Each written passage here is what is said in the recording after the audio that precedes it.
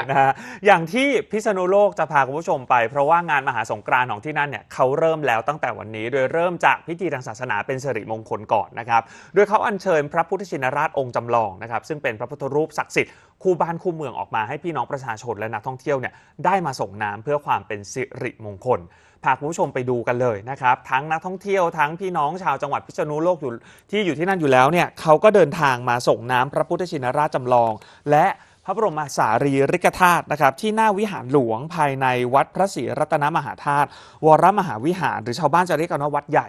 ก็มากันต่อเนื่องตลอดตั้งแต่ช่วงเช้ามาเลยนะครับ ซึ่งทางวัดเนี่ยเขาเปิดให้ส่งน้ำพระได้ตั้งแต่6โมงเช้าไปจนถึง2ทุ่มนะครับ ประชาชนที่มาที่นี่เนี่ยพูดเป็นเสียงเดียวกันเลยว่าสงกรานต์ปีนี้นี่ดูบรรยากาศน่าจะคึกคักกว่าทุกปี เพราะว่า นโยบายของรัฐบาลด้วยนะ ก็เลยทำให้แต่ละจังหวัดเนี่ยเขาก็งัดเอากิจกรรมไฮไลท์ของแต่ละจังหวัดออกมา มันก็เลยทำให้แต่ละที่มันมีเสน่ห์มีความหลากหลายน่าสนใจ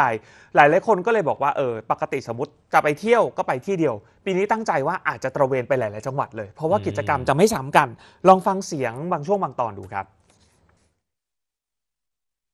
ครั้งแรกที่มาครับที่มาก็แรคึกคึกคืนนี่ครับก็ไม่ไม่รู้ว่าคนก็เยอะเหมือนกันที่นี่ที่ค่ะ ผมว่าน่าจะน่าจะคึกคักมากครับ ผมว่าปีนี้มันเป็นปีที่แบบเหมือนแบบปล่อยหลาย ๆ อย่างอะน่าจะน่าจะน่าจะคึกคักมากเลย จริง ๆ ก็มาวัดใหญ่แล้วก็ไปทำบุญที่ที่วัดในจังหวัดพิษณุโลกค่ะ วัดจันทร์ตะวันตก วัดใหญ่แล้วก็อีกหลาย ๆ ที่ค่ะ คิดว่าคือคักค่ะ เพราะว่าโควิดผ่านไปแล้วนะคะ แล้วก็ดูแล้ว เศรษฐกิจเริ่มจะขยับขึ้นมาบ้างก็คิดว่าน่าจะน่าจะคึกคักและคนก็อยากออกมาเที่ยวมากขึ้นค่ะ พาคุณพ่อคุณแม่มาครับ ได้หยุดงานก็เลยพามีโอกาสที่ดีก็เลยมาที่วัดใหญ่ครับ สงการสำหรับตัวพี่ปีนี้ทำงาน ต้นเดือนได้มีโอกาสกลับบ้านก็เลยพาคุณพ่อคุณแม่ครอบครัว มาไหว้พระทำบุญ เป็นวัดคู่บ้านคู่เมืองนะพระก็สวยแล้วก็เป็นที่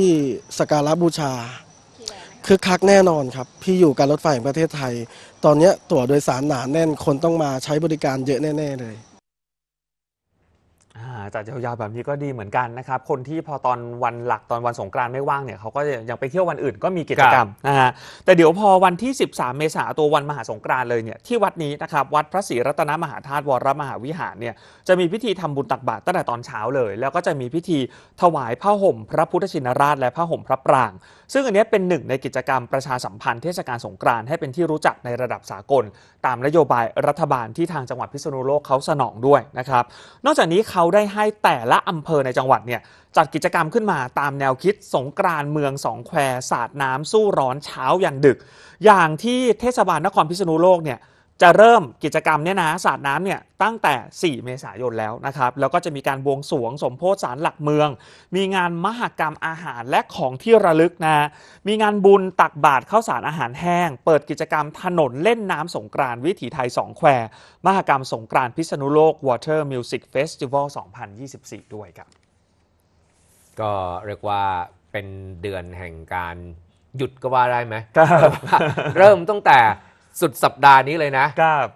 เสาร์อาทิตย์จันทร์ครับ หยุดเชื้อเชยวันจักรีถูกไหมใช่ครัฮะบวันจันทร์อืม เสร็จปุ๊บอีกแป๊บเดียวทำงานอีกนิดเดียวนะ ครับ ในสัปดาห์หน้าสงกรานต์ตั้งแต่วันศุกร์ไป แล้วยาวไปถึงวันอังคาร อืมวางแผนกันให้ดีนะ ครับ ใช้เงินใช้สตุ้งสตังค์ในการเที่ยวเอ๊ะบางคนอาจจะเลือกไปก่อน ครับเพื่อจะหลีกเลี่ยงในช่วงของสงกรานต์คนเยอะใช่ นะ บางคนอาจจะเอ๊ะไปที่หลังก็ได้อืมคือพอไปเหลื่อมๆกันเนี่ยการจราจรจะได้ไม่ติดขัดใช่จะได้ไม่งุนหงิดด้วยเนาะใช่ครับ แล้วก็ประหยัดเวลาเพราะบางทีใช่แบบแทนที่จะต้องไปเสียเวลาอยู่บนถนนนานๆนะอืมนะก็เอาเวลาไปท่องเที่ยวไปทำกิจกรรมต่าง ๆ ดีกว่า แต่ถ้า